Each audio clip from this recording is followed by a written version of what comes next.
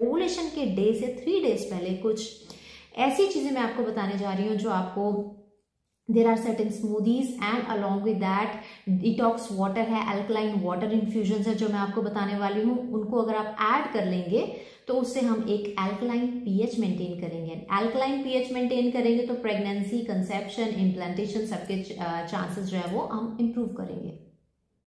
Hello everyone हमारे body के acidity levels and हमारे बॉडी के pH levels they have a very strong connection with the ovulation with the chances of ovulation and उसके साथ साथ implantation के chances and क्योंकि ओवुलेशन एंड इम्प्लांटेशन हमारे बॉडी के acidity levels and pH levels पे बहुत ज़्यादा स्ट्रांगली कनेक्टेड है तो हमारे चांसेस ऑफ़ कंसेप्शन भी अगर हम इसको थोड़ा सा माइंडफुली वॉच करें कि किस लेवल तक हमारा पीएच लेवल रहना चाहिए उसको हमें कैसे मेंटेन करना है एंड उसको हमें बहुत ज़्यादा ध्यान देना है exactly during your ovulatory days ovulation के डेज़ से थ्री डेज़ पहले हमें ऐसे कौन सी आ, अपने डाइट में चीज़ें शामिल करनी है जिससे कि हम अपना कंसेप्शन के चांसेस बढ़ा सकें। बिकॉज़ ऑल दोज कपल्स जो प्रेगनेंसी के लिए ट्राई कर रहे होते हैं, उनके लिए ईच एंड एवरी मंथ उनके माइंड में एक होप रहता है कि शायद इस मंथ हम कंसीव कर पाए।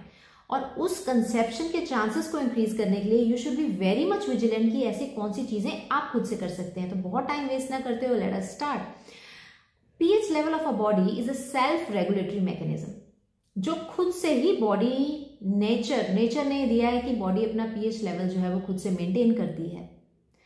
लेकिन इन केस कुछ ऐसे चीज़ें हो जाते हैं, कुछ ऐसे रीजंस हो जाते हैं, कुछ ऐसे कॉजेज हो जाते हैं कि ये पीएच लेवल्स जो है वो डिस्टर्ब हो जाते हैं तो ये पीएच जो है, ये कंसेप्शन के चांसेस कम कर जाता है। इसको बहुत इजी लैंग्वेज में आपको बताती हूँ कि वेन आपके पीरियड्स फिनिश हो गए, उसके बाद कौन सा फ़ेज़ रहता है? फॉलिकुलर फ़ेज़ फॉलिकुलर फ़ेज़ में क्या होगा? एक फॉलिकल बनेगा ग्रो करेगा। And during this follicular phase, the pH of your body is slightly acidic. Vaginal pH is slightly acidic. Near about आप कह लीजिए 4.5 के राउंड अबाउट रहता है it is an acidic pH of vagina इस acidic pH में क्या होता है? जो भी इन्फेक्शंस हैं या माइक्रोब्स हैं, कोई बैक्टीरियल इन्फेक्शंस हैं, वो इस एसिडिक पीएच ऑफ़ वजाइना के कारण ये अंदर ट्रेवल नहीं कर पाते। तो it is a good thing for your body कि किसी भी तरह का कोई भी infection due to the vaginal pH acidic होने के कारण उसमें से ट्रेवल नहीं कर सकता। एंड सिमिलरली ये क्योंकि एसिडिक पीएच है it is not friendly even for sperm ये स्पर्म के लिए भी हॉस्टाइल है। अभी लेकिन body is very smart during ovulation like near about अगर 28 डेज़ साइकिल है तो यू से ट्वेल्थ थर्टीन या फोर्टीन डे पे आपका फॉलिकल जो है वो रप्चर करेगा, यानी कि ओवुलेशन हो जाएगा। ओवुलेशन के टाइम पे स्मार्टली बॉडी एक सेल्फ रेगुलेटरी मैकेनिज्म से फर्टाइल सर्वाइकल म्यूकस सिक्रीट करती है। तभी आप लोगों में से बहुत सारे ऐसे पेशेंट्स हैं जो बोलते हैं कि ड्यूरिंग ओवुलेटरी फ़ेज़ डिस्चार्ज बढ़ जाता है। That is fertile cervical mucus and ये क्या करता है कि हमारे वजाइना के पीएच को एल्कलाइन सेवन पॉइंट फाइव तक ये ले जाता है। तो एल्कलाइन पीएच जो रहता है that is very sperm friendly वो स्पर्म की हेल्प करता है। मोटिलिटी में भी स्पर्म को uh, एक अच्छा एनवायरमेंट देता है। And it is a sperm friendly environment जब ऐसा sperm friendly environment during ovulatory phase यानी कि जब फॉलिकल बहुत अच्छा रप्चर करके ट्यूब में है at that time of at that point of time अगर सिक्रीशंस का फर्टिल सर्वाइकल म्यूकस फर्टाइल है एंड पीएच लेवल्स बेसिक हैं एल्कलाइन हैं तो प्रेगनेंसी और कंसेप्शन के चांसेस क्या होंगे? वो बढ़ जाएँगे. तो that's why it is a self regulatory mechanism but in certain cases ये सेल्फ रेगुलेटरी मैकेनिज्म जो है, ये डिस्टर्ब हो जाता है।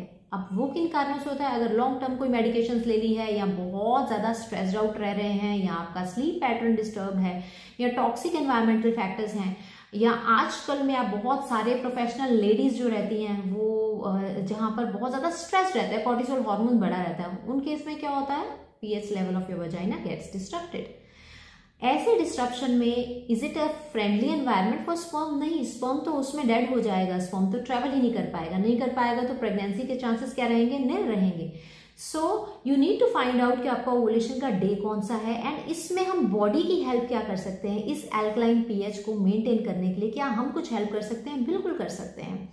उसके लिए आपको क्या करना है? जब भी आपका ओवुलेशन का डे है ओवुलेशन का डे आपको, अगर 28 डे साइकिल है तो it it can be fourteen day उससे थ्री डेज़ पहले at least good diet is very much important all throughout the month but still those of you जो all throughout the month अच्छा diet नहीं ले सकते at least your ovulation का day आप calculate कर सकते हैं, जो बहुत सारे वीडियोज़ में मैंने बताया है. एंड ओवुलेशन के डे से थ्री डेज़ पहले कुछ ऐसी चीज़ें मैं आपको बताने जा रही हूँ जो आपको there are certain smoothies and along with that detox water है एल्कलाइन वाटर इन्फ्यूजन है जो मैं आपको बताने वाली हूँ। उनको अगर आप एड कर लेंगे तो उससे हम एक एल्कलाइन पीएच मेंटेन करेंगे। एल्कलाइन पीएच मेंटेन करेंगे तो प्रेगनेंसी कंसेप्शन इम्प्लांटेशन सबके चांसेस जो है वो हम इम्प्रूव करेंगे।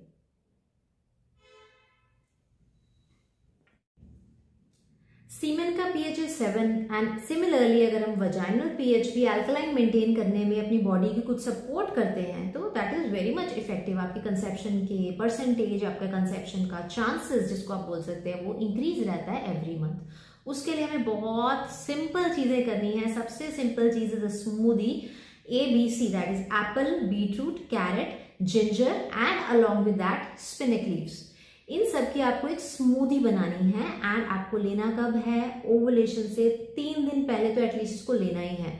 All throughout the month भी ले सकते हैं तो एक बहुत अच्छी चीज़ है। बट उन सब के लिए जो all throughout the month नहीं ले सकते एटलीस्ट ओवलेशन के तीन दिन पहले आपको ये स्मूदी जो है वो लेना है। जूस नहीं, इसका स्मूदी लेना है। सेकेंड चीज़ जो है, उससे भी इजी जिनको ये भी टफ लगता है, उनके लिए उससे भी इजी है वाटर इन्फ्यूजन ओवरनाइट सिंपल एक पानी लेना है, उसमें कुकुम्बर के कुछ पीसेस काट के डाल देने हैं जिंजर भी डाल सकते हो स्पिनक लीव्स भी डाल सकते हो। बेसिकली हमें एक एल्कलाइन वाटर बनाना है एंड ओवरनाइट उसको सोक करके मॉर्निंग में नेक्स्ट डे आप पूरा दिन थोड़ा थोड़ा उसका पानी जो है वो लेते रहेंगे। That is also very simple ये आप all throughout the month भी कर सकते हैं, लेकिन ओवलेटेड डेज़ में ओवलेशन से पहले तो आपको ये करना ही है। एंड अगर ये भी टफ लगता है तो कोकोनट वाटर वो भी आपका एल्कलाइन पीएच मेंटेन कर सकता है। अगर वो भी टफ है simply after every hour one glass of water tap water not filtered water क्योंकि हमें एल्कलाइन लेवल्स मेंटेन करने हैं। अगर आप ये सब करते हैं तो हम अपनी बॉडी का सपोर्ट कर रहे हैं। बॉडी का सपोर्ट ड्यूरिंग ओवुलेशन करते हैं। ओवुलेशन होने से पहले करते हैं तो एक फर्टाइल सर्वाइकल म्यूको सिक्रेशन भी होती है।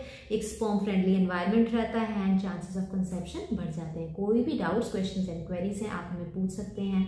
And do subscribe subscribe our channel for more updates and कुछ भी uh, अगर कुछ भी ऐसे इश्यूज़ रहते हैं जहाँ प्रेगनेंसी थोड़ा सा डिले हो रही है तो सबसे पहले जिस चीज़ पे आप कुछ बिना करे भी वर्क कर सकते हैं, वो आपका नर्वस सिस्टम स्ट्रेस लेवल्स को डिमिनिश करना है, वो कैसे करना है? मेडिटेशन से करना है, प्रोफेशनली ऑफ़ लेके करना है, किस तरीके से करना है? हर एक का अलग वे है।